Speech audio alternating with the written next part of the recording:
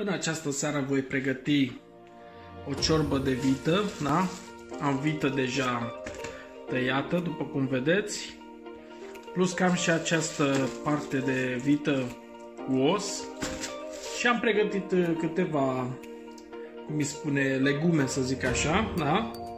Pe care le voi folosi. Ceapă, morcov, ridiche de asta de-a lor ciudată, da?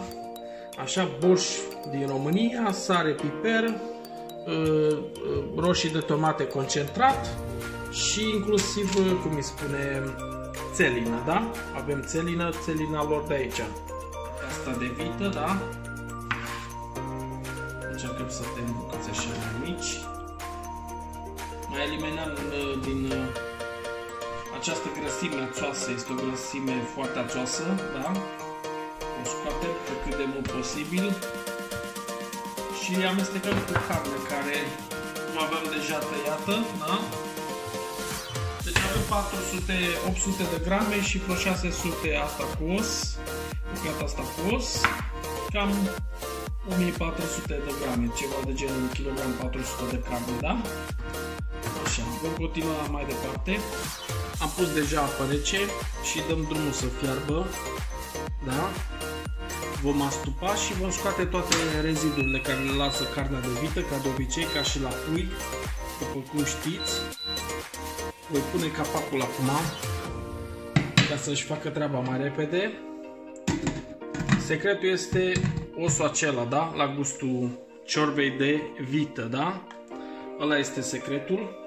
Și vom tăia acum, vom pregăti morcovii, ceapa, Restul ce mai este de pregătit, da? Le avem aici în partea dreaptă.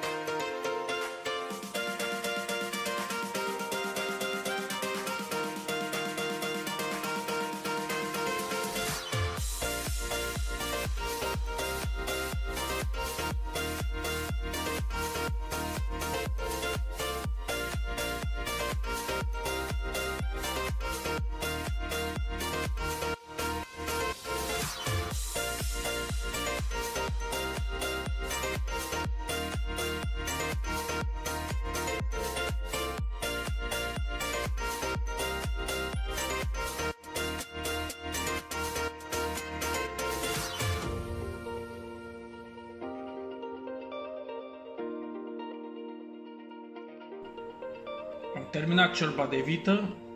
O voi servi cu smântână, ardei iute de la borcan marinat. Uitați cât de bine arată, da?